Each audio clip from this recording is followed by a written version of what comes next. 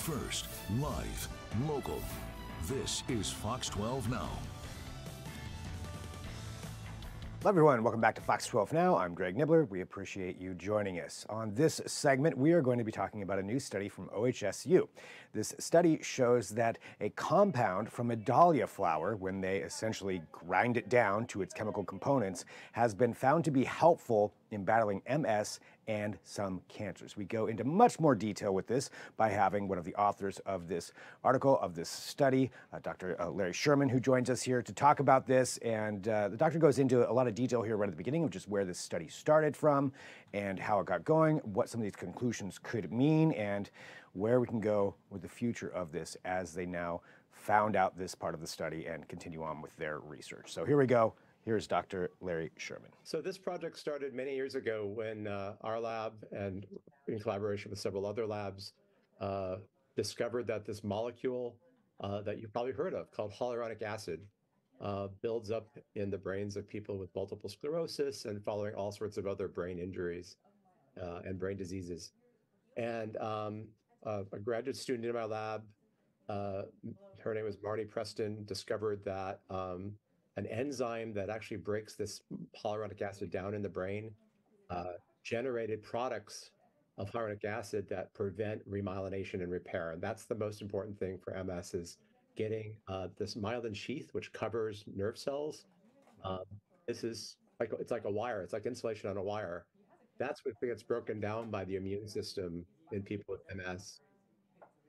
And God, uh, Oh, sorry. Go, go ahead. No, that, that, that was just a really good analogy. So so thinking about that, so it's it's insulation over a wire that wears down, and then that's what's causing essentially yeah, so that, some of the so that causes everything to kind of fall apart. So you, you think about our brains. We need to we have this really high need for high speed communication between different parts of our brains when we do anything, right? Um, so when that wire falls apart, then we uh, we lose that high speed communication and everything becomes difficult. We have problems with movement. We have problems feeling with feeling things, sensing things. We have problems with thinking even. Um, and so uh, that discovery led to the idea that we could maybe find a way to block this particular enzyme that we identified. And uh, we had a, a, kind of an experimental drug that didn't really work as a drug because it's sort of toxic to cells that we reported on a couple of years ago uh, that really nicely does the job, but it could never be a drug because it's too toxic. And so um, about that time, I approached um, uh, Professor Angela Hoffman, who is a chemistry pr- professor at the uh, University of Portland. She's also a nun, which, which is amazing. Yeah. Um, and her whole kind of focus over the years has been using natural products uh, from plants to find new types of medicines. And she asked me if I could like help her develop a little way to test for the presence of an inhibitor for this enzyme that her undergraduate students could use. And so they basically they would find a plant, they would grind it up, and they would test to see if it would block this activity. And over the years, she's had a few examples where that worked, but um, most of them weren't that great. And then a few years ago, she came to me and like we had this like really nice selection of extracts that did the job really, really well. And uh, so my graduate student, Alec Peters, um, came to the, to the scene at this point and took these compounds and tested them first to really show that they had the activity we wanted, um, and then to show that they actually affected cells. And this enzyme we were talking about, it's called hyaluronidase, and it's been implicated in all sorts of things, ranging from cancers, multiple different kinds of cancers, to this this this application for multiple sclerosis. And what Alec was able to show is that in cells that make tumors uh, and in the cells that should be uh, becoming new cells that make new myelin, this drug really did the job. So it blocked the growth of these uh, tumor cells and actually induced their, their death in some cases.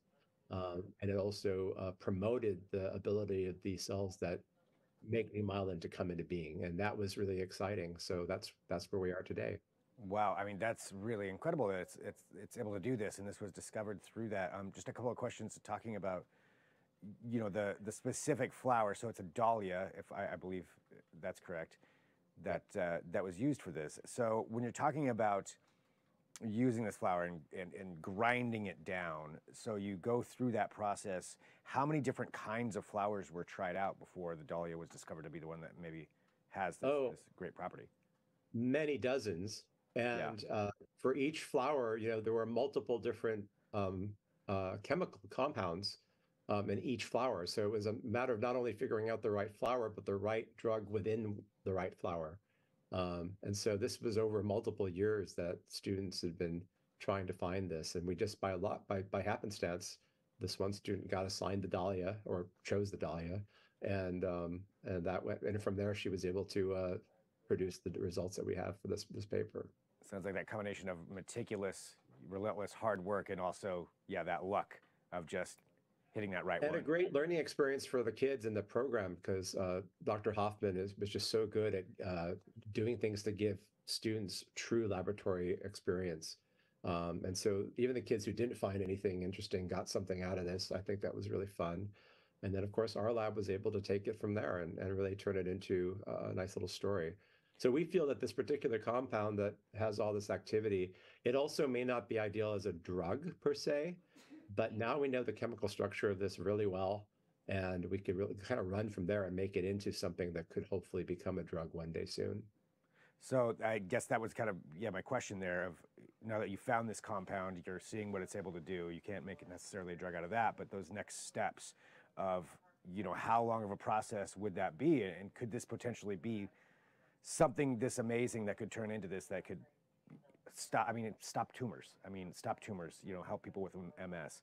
Um, Right. Could this potentially be that kind of drug that could really do that and stop tumors and, and help people with MS? So what I'm hoping is that people will see the paper that's just come out, um, and um, especially the my my friends in the cancer field, we do a little bit of cancer biology in my lab, but not a lot. But I have a lot of colleagues who do, and we're going to offer this to them and see, hey, would you be willing to test this in your model uh, to see if it actually stops the tumor growth? Um, so that's going to be kind of a longer process, I think, because it- it's going to be a matter of testing it first in uh, in vitro models, you know, in, in petri dishes just in cancer cells growing in petri dishes and then testing to see if it actually stops tumor growth in animal models of cancers.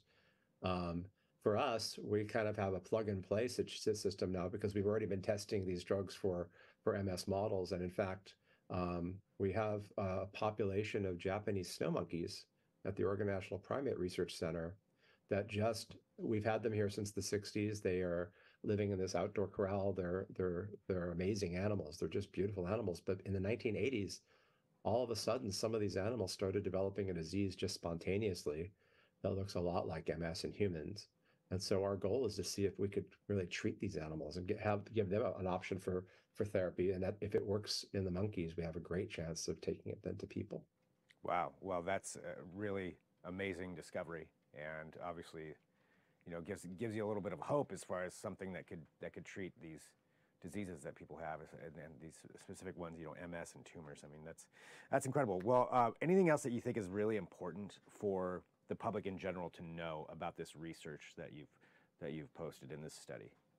I think the most important thing to know is that this is a step. It's not it's not a Mhm. final outcome. It's it's it's really just a step. So this this drug recapitulates does what another drug did that we also knew would not be good as a drug because of its toxicity. Um, so we know that that we've we've shown that this can work. That we can actually do actually promote repair uh, in MS, and we can uh, you know hopefully have these effects on tumor cells.